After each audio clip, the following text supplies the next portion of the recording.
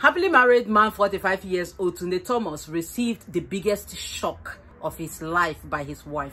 You are welcome back to my channel. If you are new, you're welcome. Thank you so much. Please consider to subscribe and do not forget to turn on the notification bell. The essence of that bell is to notify you anytime I drop a new gist. My return subscribers, thank you so much. God bless you. Well.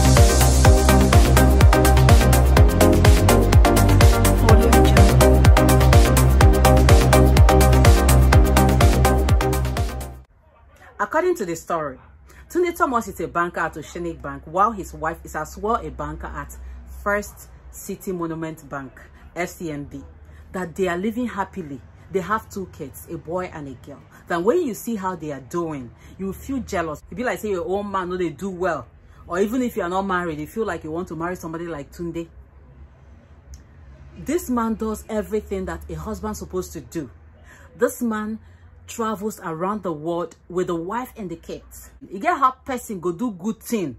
They do good thing for you. They do good thing for you. Your heart go begin to judge you if you get anything where they do well no good. Now Moyo go resign for FCMB where she they work without even telling her husband that she has resigned. And nobody knows the reason why she has resigned. Because she say the husband no go you follow them travel on that year. Now she can't tell her husband that she wants to travel to USA with the kids for a holiday. Now the husband can't say, okay, prepared everything for them, send them go US. After the holiday, the school has resumed.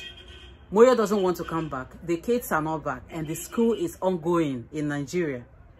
Now the husband call and call and say, don't resume. What is still keeping you there? She go lie like this, you know. You get how you go lie. That lie go come hook you. No go know what you go do again. Now we can tell and say, say get wetin i wan tell you? Say na make i even travel. Say i no go fit tell you one on one because you are too good to me. Na the husband come tell am say wetin be that?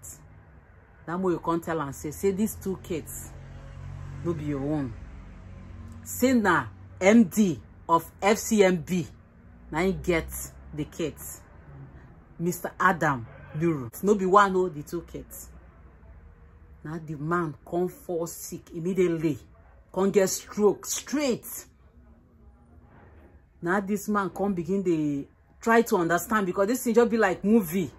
Say the man no wan believe am but na wetin dey happen. Now she come tell am say na koko. Say na make she travel. Say she don go even sign asylum for us for marital violence. Make she come dey us ah now the man come begin ah the man no understand am. Now the man come tell his people now his people come begin the battle. They tell they let usa people know say see wetin dey go on. Say nothing happen. See see see see they no understand. Since 2017 now this man come dey battle this. Two weeks ago now this man come die. May your soul rest in peace. Tunde Adams.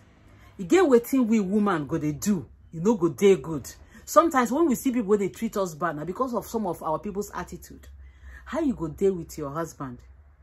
You call another person come pregnant you two times. Now you go get the two kids. You can't allow this man to raise the children oh, until the oldest one can reach eight years. That was 2017 now wow ladies we get mind anyways it's your girl joycelyn portugal. Your opinion is needed. Tell me what you think about this whole story. See you on my next video. Bye